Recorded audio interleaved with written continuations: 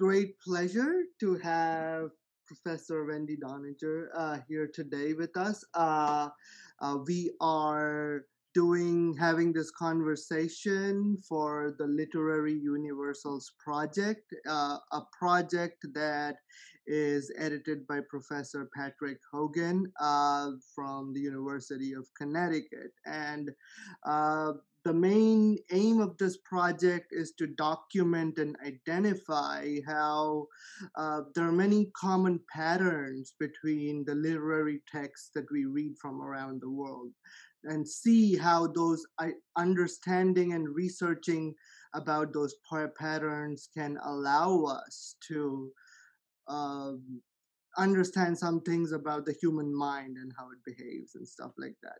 Uh, so before we begin, I would like to introduce Dr. Doniger briefly.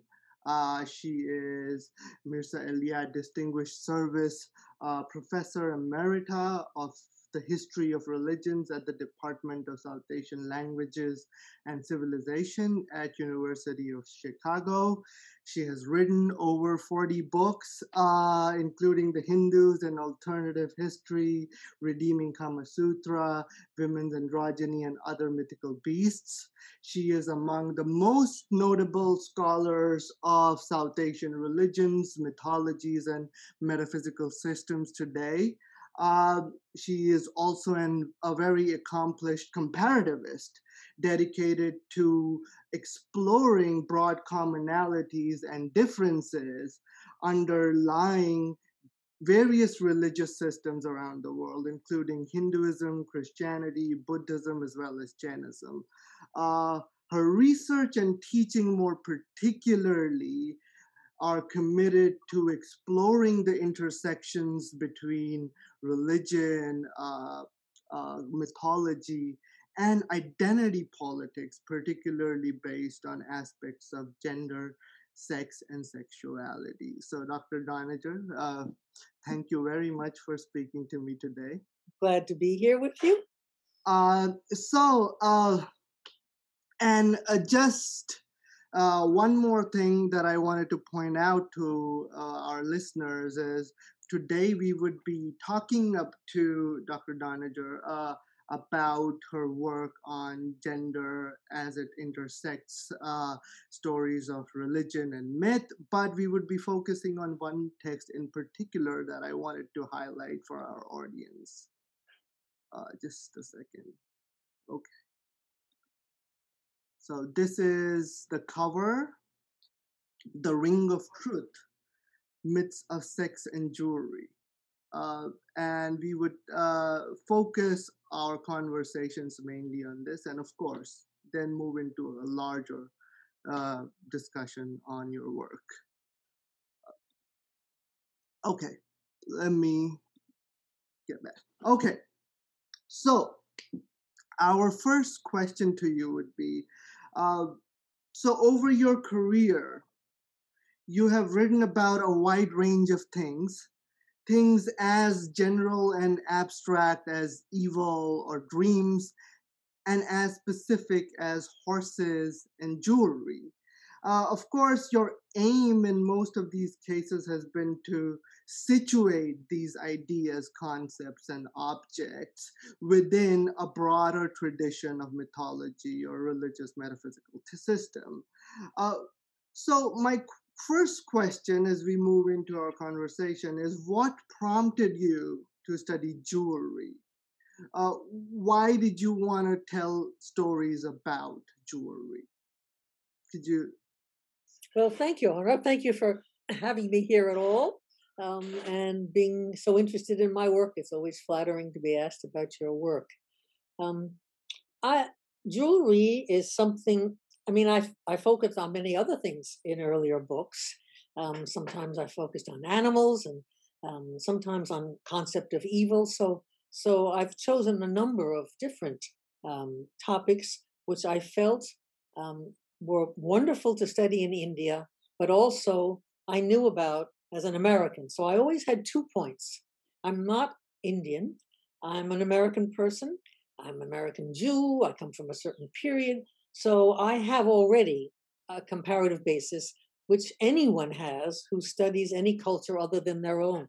So, in a sense, we're all comparativists. If you read a story about China, you read a story about Nigeria, you become a comparatist. You say, oh, that's how they build those houses. We build our houses differently.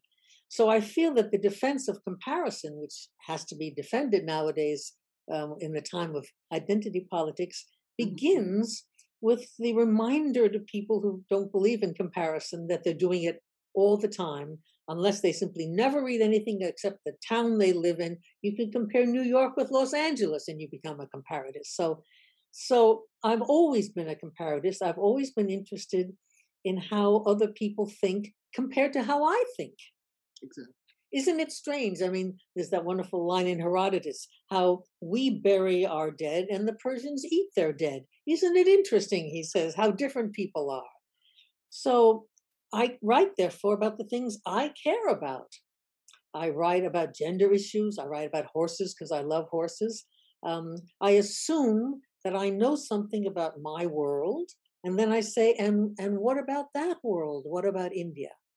So I've always been interested in stories about jewelry. I've always been interested in jewelry. Um, in the beginning of the book, I tell a bit about my family history and a ring that I inherited, a crazy six part ring that a Russian prince had when he couldn't pay his bill in my great grandmother's Czechoslovakian hotel in Marienbad. You know, so there's a story there. I already had my own family stories. And then I became interested in how other people had different sorts of stories. I always go first to India because that's the culture I know best after my own. And I know Shakuntala and the Ring of Recognition. That's a great ring story. And then afterwards, so that's the two points. I know I know about rings and I know about Indian rings. And then I fill in with whatever else I know. I know some of Shakespeare because I go to the theater. Um, I know some of operas, and I began to see a European pattern. There were enormous holes in my knowledge. I know very little about China. I know very little about Africa. So I don't know about universals. Um, you only have a couple of points. If you have three points, you can make a, a stool stand up. Um, I have America and India, which are so different in their history, and I have some, excuse me, and I have some other knowledges, and then I begin to think in more universal terms about men and women. Women wear rings for one reason, men wear rings for another reason. And then I sometimes get into biological issues. And that's really, that's the universal. That's what we all have in common. We all have eyes and hands and so forth. And I began to feel that rings were dealing with a very basic biological issue, mm-hmm. which is that a mother always knows that she is the mother of her child and the father does not know for sure that he is the father of his child. And oh. this has enormous repercussions in, in the legal world and indeed in the world of mythology. And rings play an important part in that male desire, sorry, in that male desire to make sure that the kid is his kid. So mm-hmm. that's where I hit the universal after mm-hmm. going through all these intermediary steps, beginning with America and then India. And there are just lots and lots of stories about jewelry because I'm not the only one who's interested in it. Everybody's interested in jewelry. Thank you so much. Uh, that, that is really insightful and, and it kind of uh, sets the direction for where I want to go after this. So you uh, you did talk about like we are all comparativists from one way or the other, and like we have to be able to see that uh, to really get into uh, the issue. So, uh, in academia, there's often a pushback against the idea of universal. And uh, I would say, rightly so, there are good reasons for that. Uh, there's the pushback against using a transcultural framework because many within the humanities and the social sciences believe that universality is synonymous to systems, uh, colonial systems, or systems that would like Im- enforce a point of view upon others. So, uh, however, in also in a majority case that those point of views that deny the universal often end up endorsing certain forms of parochialisms or saying that cultures are irredeemably different and they cannot reconcile. So you are someone who has engaged with both the ideas of universal and the particular. Like when you're mm-hmm. talking about myths, you do show that okay, this is com- there are stories that recur cross culturally, but it is equally important to focus on the particular at the same time. So, coming from that point of view, how would you respond to this debate between universalists and particulars? Hmm. It's a very tricky one.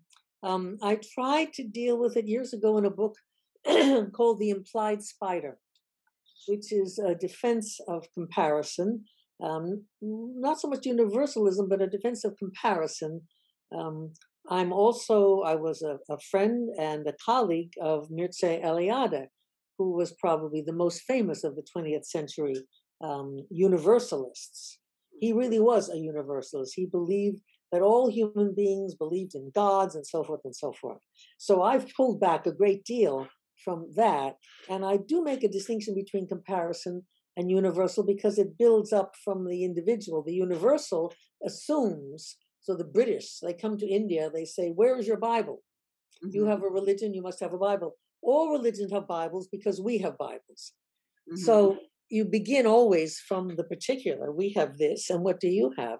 And then you always found some Brahmins who said, well, Manu is our Bible, or the Bhagavad Gita is our Bible. And then you're beginning this horrible uh, colonial imposition of uh, British ideas on Hinduism and the, the deformation of Hinduism in the Bengal Renaissance, which is just a Protestantizing of, of Hinduism. Mm-hmm. so that that's a very real danger, and um, I'm aware of it, but I don't think it's an inevitable danger if you build from the bottom up. In other words, if you say, well, these are my stories about rings, and you don't say, I assume that everyone gets married and exchanges a ring in the Christian marriage ceremony. You just say, rings are, in my culture, are associated with sexuality and they're also associated with marriage. So let's look at what India does. India also has rings. They're also associated with sexuality, but the marriage customs are very different. So you're immediately headed off from broad assumptions of how different cultural groups use the same symbols, and yet they do use the same symbols. The ring is a great symbol. It's round, it's perfect, it fits on your finger very well. It's a form of jewelry that you can wear all the time. You take off your earrings at night. Most people take off their necklaces. Indian women do not, but not, it is possible. There's something about the ring sticking on the finger which is universal. And then the question is yes, but what do you say about it? So you never stray into the assumption that the um, abstract associations from a particular thing like a ring are going to be the same abstract associations, but you say there's something important here mm-hmm. because it occurs everywhere. And then the question is, how does it change there and there? And in fact, is there anything in common? Mm-hmm. Um, biology is one of the very few things that people have in common. Um, and biology is already very various. You can't assume, as one assumed uh, 50 years ago, that everybody is heterosexual and so forth. We now know that biology is more complicated than that. Mm-hmm. But the association of rings with any kind of sexuality seems mm-hmm. to be widespread and so forth. So I think there are ways to be aware of the political misuses of comparison, to start from the bottom up rather than the top down, to mm-hmm. assume when you enter another culture that they will be doing things differently from you, which the British did not assume in India, or if they did it differently, it was wrong. Mm-hmm. We do it right and they do it wrong. There are all sorts of assumptions built into imperialism, which are not necessarily built into the cultural study of stories mm-hmm. and rituals and the way people behave. Mm-hmm. So I mm-hmm. think you need to be aware of the fact that there's a danger and that you ally the particular. Carlo Ginzburg is a great one for for for, for the focusing in on the particular manifestations. But in mm. the end, he does comparison as well. uh, witchcraft and different forms of witchcraft and so forth. So you you start with your particular, you go into their particular, and then you go into their theorizing of their particulars, and you see that Indians have very different ideas about rings in many ways. So you have a kind of an overlap, like rings. You have an overlap of the place where there's a, there's a shared center where the two rings do overlap. Mm-hmm. But then Americans have these ideas, which are part of capitalism and the De Beers mines. There's a whole mythology that comes out of diamonds and the weird marketing of diamonds. Yeah. But at the bottom, you're still talking about the idea of a precious stone, which people all over the world are interested in precious stones. Mm-hmm. So you you you navigate between your interest in how a particular culture, America in 1950s, got De Beers doing things, Mm-hmm. and the broader issues of paternity and the use of um, of rings as a way of binding women, Mm-hmm. uh, owning, marking, mine, mine, mine, which seems to be very widespread Mhm. um, and is, uh, is not. Different people do it in different ways, but the the biological fact that men want to know who their kids are affects all these stories in different ways. But that's the universal. That Mhm. really is the universal. Mm. Um, and in most mythological ideas, there are universals. Everybody dies. Everybody is frightened of dying. So you have mythologies of death all over the world. People tell stories about death. They don't all tell stories about shoelaces. They don't all tell stories about squirrels. They all tell stories about death because it's a human universal. Mm-hmm. And when you start doing that, you then you see how differently people imagine death, but that mm-hmm. there are a number of overlaps. There are a lot of similar ways. A beautiful heaven, it'll be much better after we die. That's a that's a universal hope. A Mhm. universal fear will be tortured after we die.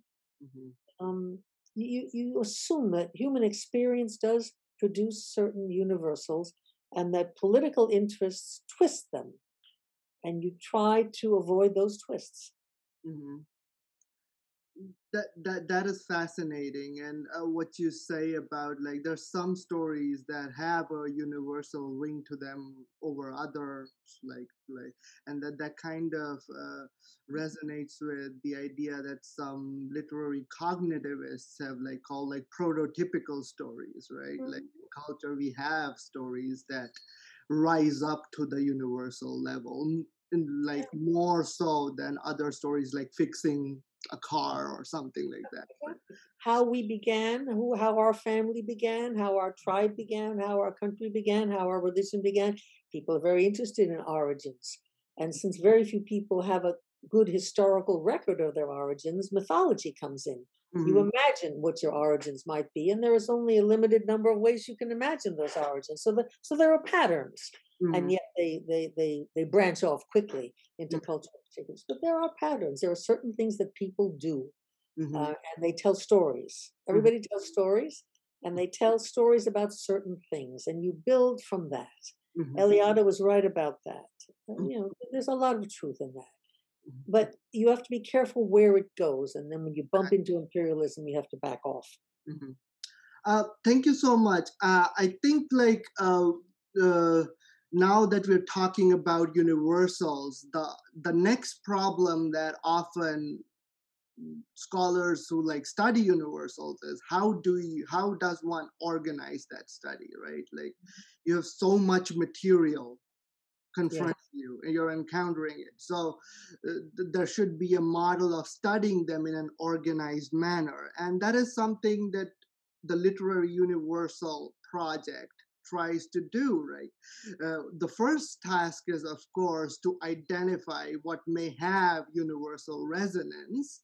And then the next task at hand is to understand how to organize that study so that it, it becomes meaningful in that sense. And you have done that in so many of your works. Uh, you have done that in this book uh, where you're like you you you record so many different stories about rings from all around the world but how do you like organize it how do you make it meaningful to the reader so that it makes sense right so you've like created categories like signet rings, sexual rings, rings that fish eat up and are found later on, right? So, can you talk a little about this organizational yeah. aspect? yeah, it's fascinating. You know, many years ago in the 1950s, I think, uh, a folklorist named Stith Thompson. Tried to organize all the folklore of the world into categories. So he had life and death. So you have death. Then you have different kinds of death, and then subcategories. And you had categories which were like A, 0.5, 0.3, 0.2, 0.8, where he got, and where there's only one story. He got all the stories in the world, which of course he didn't. He mm-hmm. collected all the folklore he could possibly find and tried to sort it out into those categories. And that's one of the great taxonomic um, um, attempts. As a taxonomy, it fails. It's sometimes very useful if you have a story to look it up and st- still useful to look up stories in Stith Thompson. But mm-hmm. he didn't really cover the whole universe. You can't do that. So um, when I set out on a project, I usually just try to collect all the things I can find that seem to have anything to do with it. By the time I even decide to write the book, I already have a lot. I've already noticed. I say, you know, I keep finding these stories about rings. I think I'll put them together. Um, and then you, you sort them out. Um, certain things keep recurring. Um, there are things that you look for if you are a mythologist because you've been reading stories for 50 years, and certain things jump to your attention that might not catch your, the attention of someone who hadn't been reading Sanskrit texts for, for all that long time. Um, so you notice that there are two stories on the same subject, and there's one on the opposite subject. And I guess you sort them out by the things that matter to you. If you're interested in gender issues, you sort them out by gender issues. If you're interested in plot lines, I've always been interested in deception and fakery and doubling and twinning. Then you look for all the doubles and the twins. Um, someone else who wrote a book about rings would write an entirely different book. Mm-hmm. I have not begun to say everything that could be said about rings. I've said the things that interest me about rings. And the taxonomies are those which, which interest me. I sort them out according to the things that, that, that seem to be repeated but they catch my eye. You could sort them out by stories about rubies and stories about emeralds. I didn't do that. Mm-hmm. That would mm-hmm. be one way to do it. So I did stories about virgins and stories about bad people and so forth. The themes that have become part of your vocabulary, just like the words you learn from reading. There are story themes that you learn from reading stories all your life. Mm-hmm. And then you try to make sense of it. You just in the old days, we had three by five cards. You did it on the floor. Oh, animals. Under animals, you do dogs and horses. Under horses, you do stallions and mares and so forth. Um, you just sort them out into subcategories. You choose your big categories by the things that seem to you humanly important, and then you just put every story you have falls in some place, and you feel.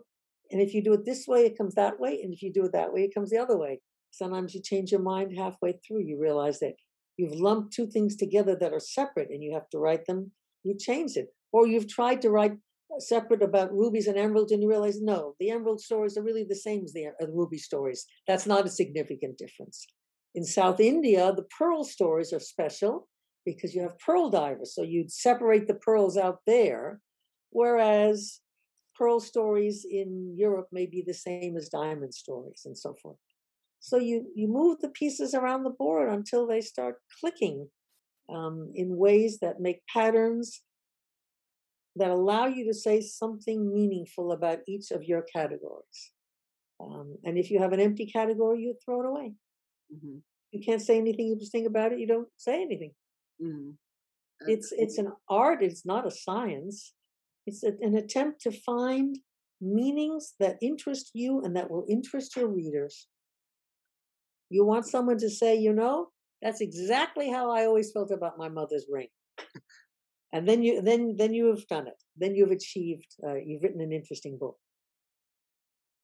that is fascinating and and and and as it turns out like even like the organization you have to like consider the demands of the particular the way like specific realities would like alter uh or change a particular pattern and that needs to be recorded and that needs to be classified and like uh, studied in that sense uh, and that is that is fascinating like thank you so much for answering that question that was a good question.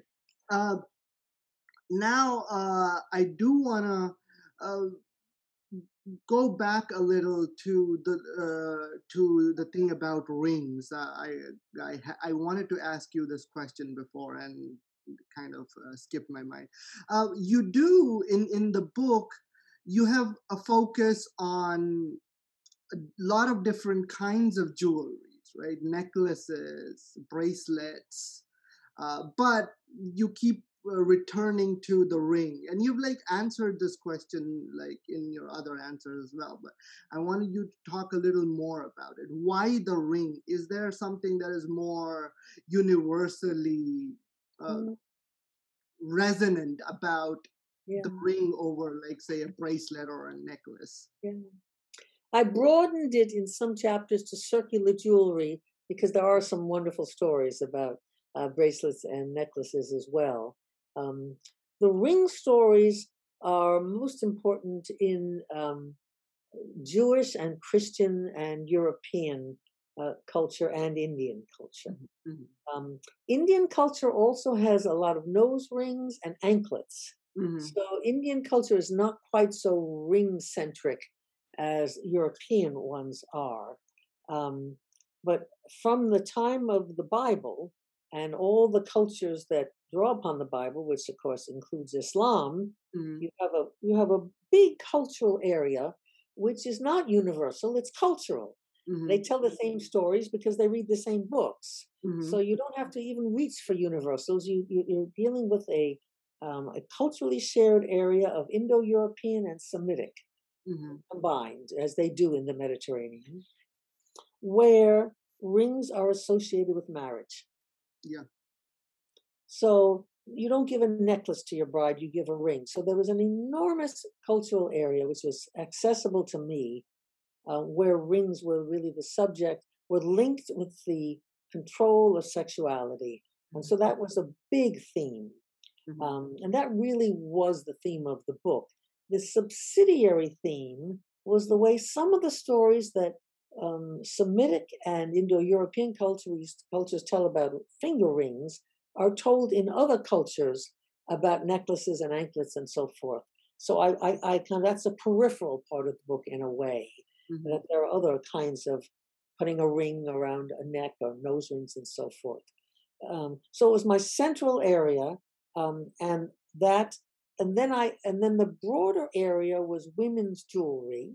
Men also wear jewelry, but women's jewelry is much emphasized in most cultures. Mm-hmm. And the connection then between jewelry and beauty, mm-hmm. and beauty as a feminine desideratum, and so forth. So, so that was the penumbra. That was the peripheral area.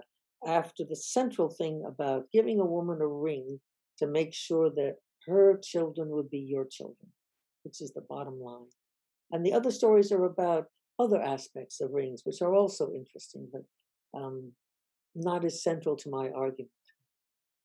Thank you so much. And I, I think um, you also like talked about our next topic of conversation. So it's it's a good like move uh, tra- uh, transition into uh, my question about your exploration of identity politics uh, based on sex, gender, and sexuality. So uh, your books are like through myths and through explorations of stories about religious and metaphysical systems you often talk about identity politics and like uh, you often uh, describe how these stories are in a way some most generally they confirm certain predominant thoughts about gender and sexuality in any society. Sometimes they dismantle those ideas but you are majorly interested in that uh, and many of the stories that you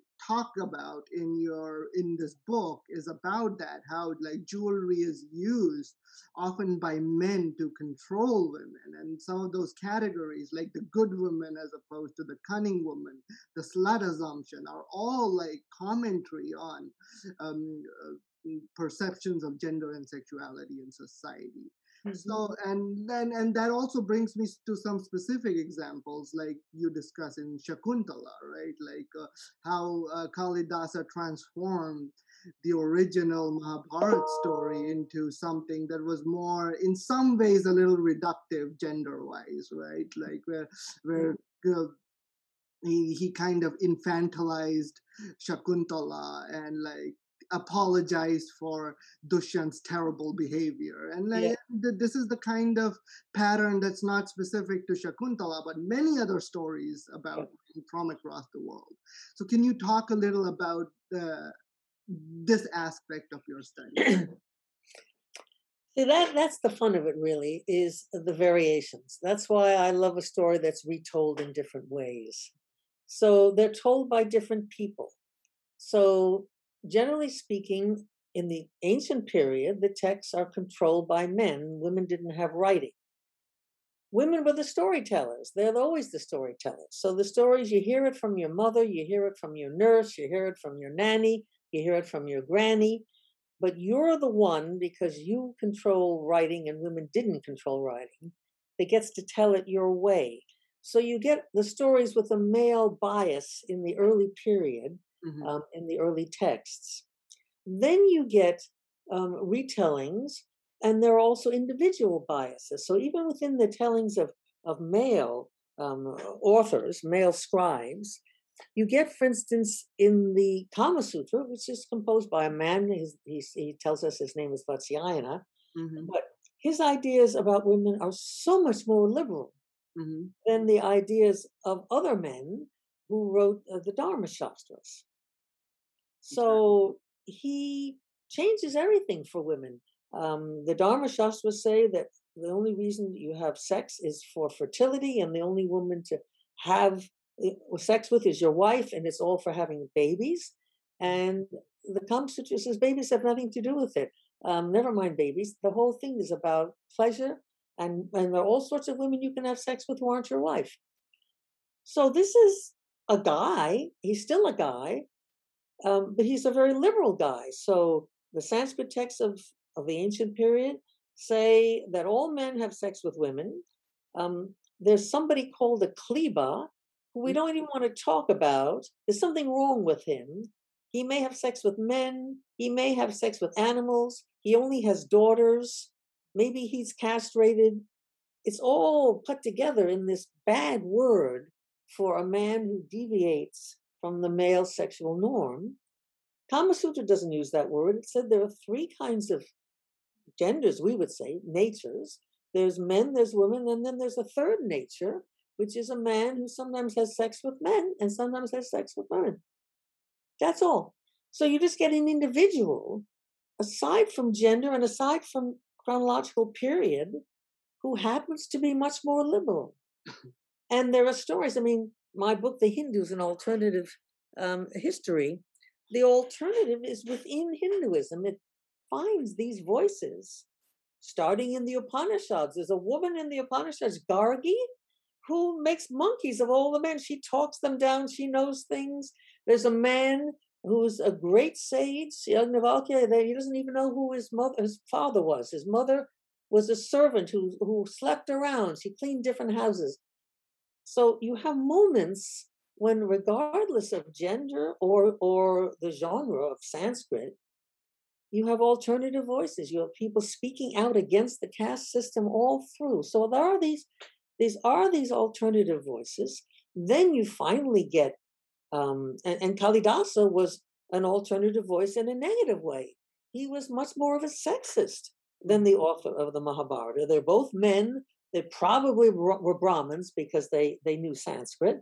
But the author of the Mahabharata depicted Shakuntala as a feisty woman who talks down the king and makes a fool of him and wins what she gets. And Kalidasa said, no, no, no, she was just a poor girl. She didn't know what she was saying. Um, So you lost ground there. You get folk tales tell, told by women, and it's very often that the women are smarter and more successful. So you have different voices telling the same story mm-hmm. and telling the same story differently. And it's sometimes because the gender of the storyteller is different. It's sometimes because the genre is different. Mm. Folklore has less rules than Sanskrit in that way. Folklore has its own rules too.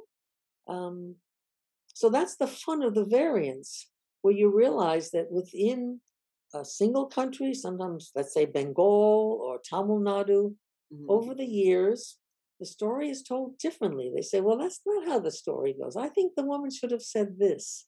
Mm-hmm. And you see individual human beings saying, I like that story, but I think I'd like it better if. And you hear these different voices of people all over India telling the same story differently. Um, and it gives you a wonderful picture of individual free thinking and freedom. You don't simply parrot the way your granny told it to you, you tell it differently. And gender standards change, and the, the stories can be told very differently in different in different ways. Um, there's a wonderful new book that's just been published called Many Mahabharatas, it is taking off on Paula Richman's book, Many Ramayanas.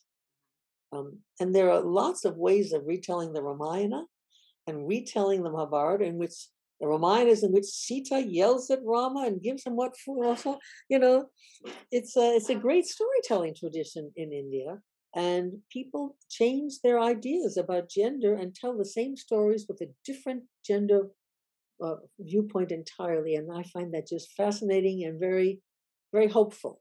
They're not brainwashed. They, oh, well, Sita does exactly what Rama says. Even in Valmiki's or Ramayana, Sita doesn't exactly do everything Rama tells her to do. If you read it carefully, she's a pretty feisty lady. For one thing, she leaves him at the end. She walks out on him, mm-hmm. um, which, which nice Hindu wives are not supposed to do. Mm-hmm. So even in this classic text, um, if you read it carefully, um, you see that there are there are voices of dissent mm-hmm. even in the old text and certainly in the later text. So um, I've always just celebrated those voices. I didn't have to invent them. They're there. They really are there. The gender dissent is very strong in India. So, uh, a quick follow up to this. So, today there's uh, like about going back and reading history and mythology. There's often like a dual issue that comes with it. Either either people tend end up like idealizing the past which itself can be problematic like it is like all good or it's just like oh the past is terrible like it was so so much worse for like women and minorities so how what would your recommendation be like how does one read the past in that like with this duality in mind in that sense i think uh, the past influences the present. Mm. So that when you say, How did we get into this mess? One of the answers is it got messed up in the past and it got more and more messed up. At the same time, we're not bound by it, just as there are these alternative voices in the telling of stories. So there are moments at which people have said, you know, we've always done it this way, but I think we should stop. Very often, there's a single brave individual who has the courage to say, you know, maybe we should stop doing it the way we've always done it. So mm-hmm. you have to read the past to understand how you got into the mess you're in today. You have to know how it did. But you certainly don't have to go on doing it that way. In fact, it sometimes helps you to know why you are having such a hard time changing. Why can't you just suddenly in America treat people of color decently? Why mm. can't you just say, well, let them all into the schools instead of keeping them out? Mm-hmm. Well, it's because they can't go to the schools because they're poor, because you've also economically deprived them. So you have to fix that before you just say, well, all Harvard will take in, Harvard will stop taking only white people, it'll start taking people of color. You can't do that. You go back to the past and you realize that there are deep social problems which have to be solved before you can simply start employing it and so forth.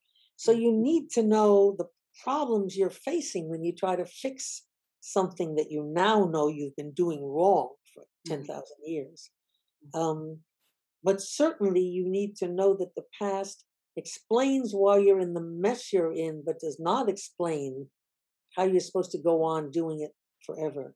And that the past was wrong about a lot of things, and you've got to free yourself from it. The fact that my grandfather did things this way explains why I'm inclined to do it, even though it's stupid, Mm-hmm. and why it's sometimes hard to change, even though I know it's stupid. Mhm. But it means you must change because you now know it's stupid. You've got to stop doing those things. So, uh, the fight about uh, the history of Hinduism Mm-hmm. um, with uh, the Modi government, um, the idea is no one ever ate cow in ancient India, and therefore we kill all the Muslims because they eat cow. Mm-hmm. So it's rather important to point out that people ate cows in ancient India. Mm-hmm. It is simply not true that even if you're using them because they did it in the past, we're doing it now, which is stupid. You can't even make that argument. You have to counter false history with real history. Um, and that's why the work of uh, Professor uh, Jha, who just died a little while ago, was so brave, and he simply pointed out all the evidence there was uh, for the fact that, in fact, people ate cow, and that was only in the 19th century as part of an anti-Muslim movement in India that Mm-hmm. the idea that no one in India should eat cow became an important idea. It just wasn't there in the old days. Mm-hmm. So knowing history correctly sometimes helps you to fight against the false use of history by politicians. Mm-hmm. Um, so you need to know the past. You need to have access to texts, and you and you need to listen. Mm-hmm. There's all sorts of the idea that Rama built the bridge to Lanka in the place which now connects Sri Lanka, and therefore you can't have shipping go through it. Um, it costs the environmental destruction and the loss going around that place where there is no bridge because Rama did not exist and no one ever built, no one ever got a lot of monkeys to build a bridge to Sri Lanka. That's false history. Mm-hmm. No one stood up enough for false history to allow people to change the shipping lanes, which was the thing to do. The only reason not to put ships there is because you believe in a mythological bridge. Mm-hmm. So India has often been unable to resist the powerful political misuse of history. Um, the idea that there was that Babur, um, that Rama was born in the place where there is now a mosque, or not now a mosque, there was a mosque until 1980. The Mm-hmm. false idea that Rama was born there caused the, the, the, the loss of, of hundreds of thousands of lives. It was false history. And there was irrefutable evidence that it was false history. Uh, but the politicians won that one, and therefore the riots and the tearing down of the oldest mosque in India, Mm-hmm. all those bad things happened. So it is important to try to find out what really happened and then to decide what you want to do about it. If in fact Rama was born there, there was still not necessary to tear, tear, tear down the mosque, but that's another that's another question.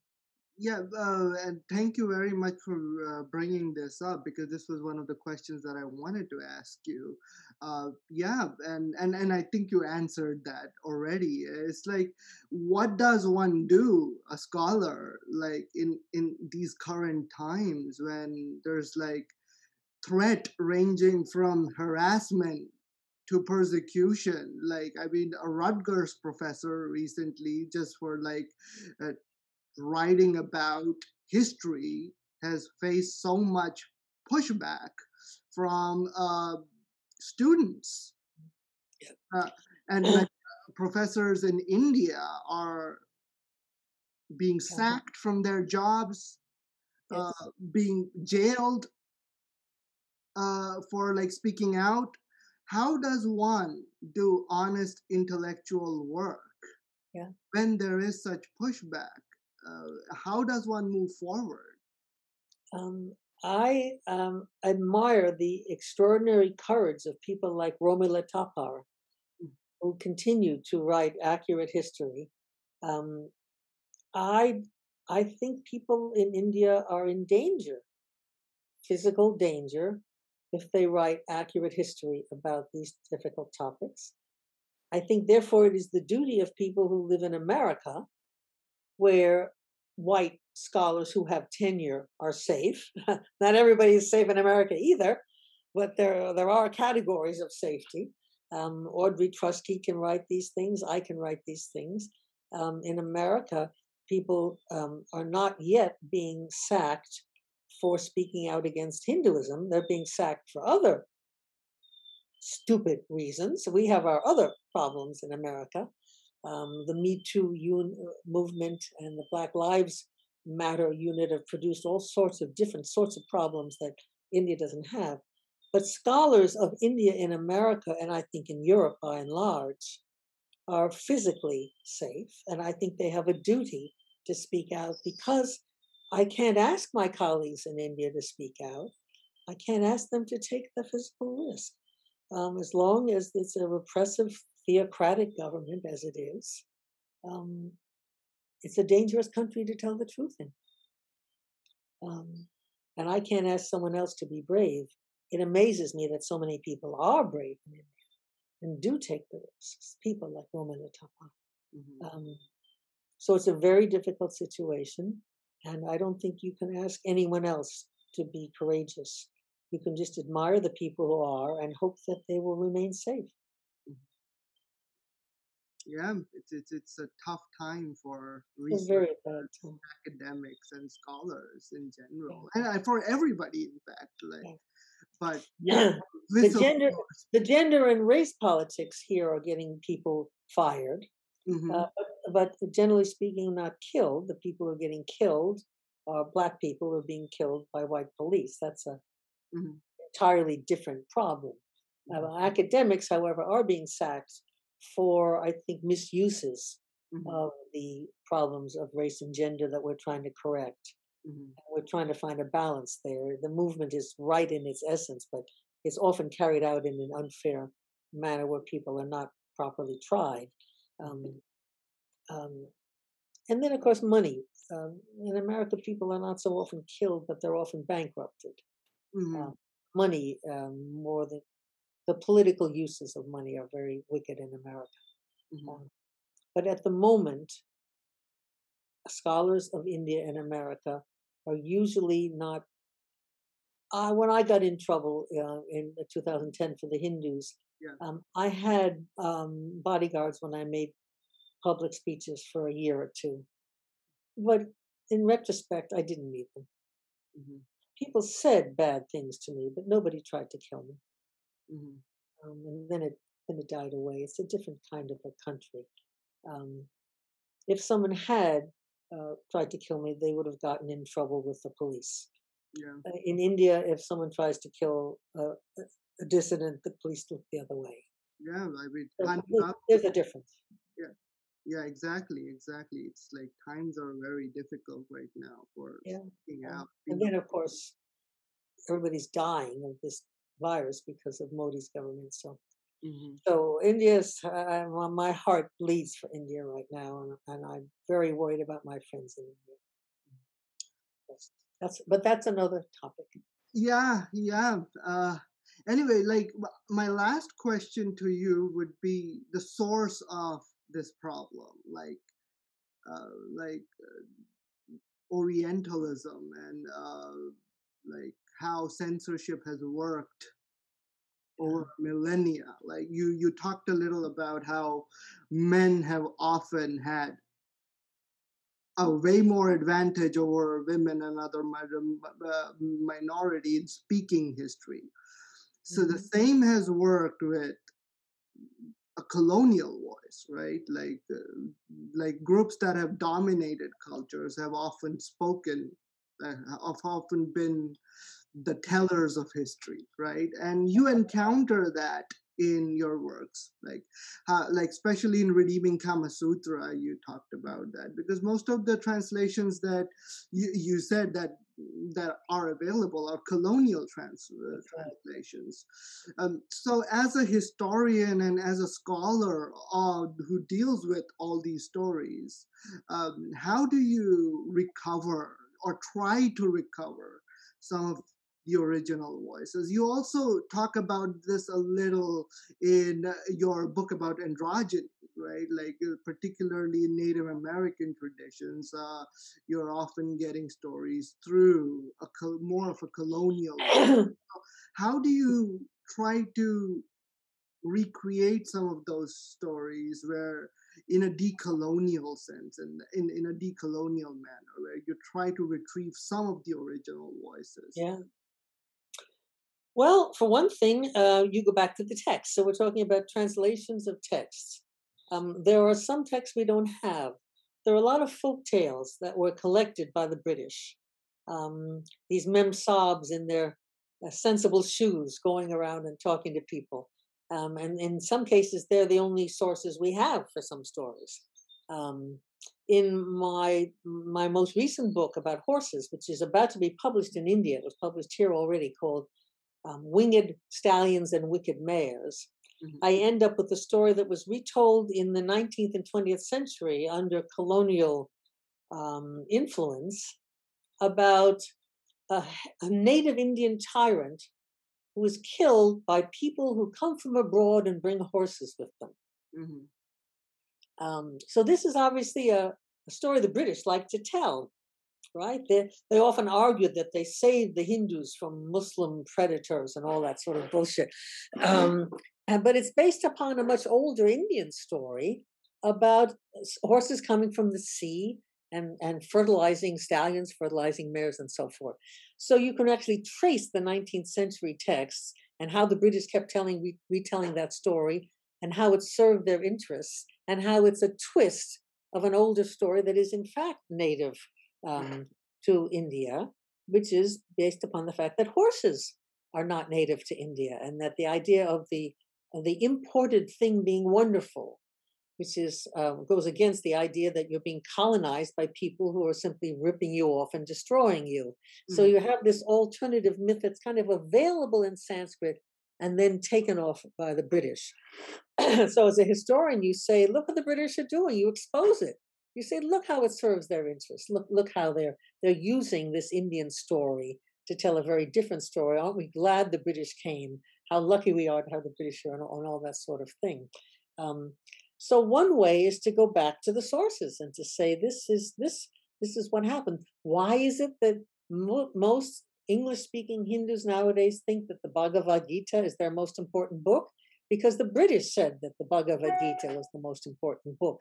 You go back to before the British, and people had all sorts of other. They had the Gita Govinda. They had um, a Tamil story. So, so you try to do the history. You try to undo the twists the distortions that the colonial eye has done. But the Kama Sutra, we have Richard Burton's translation, which is the one that everybody uses. You go back to the Sanskrit and you say, no, the Sanskrit doesn't say what he says. The Sanskrit says this. Um, you try to undo the damage.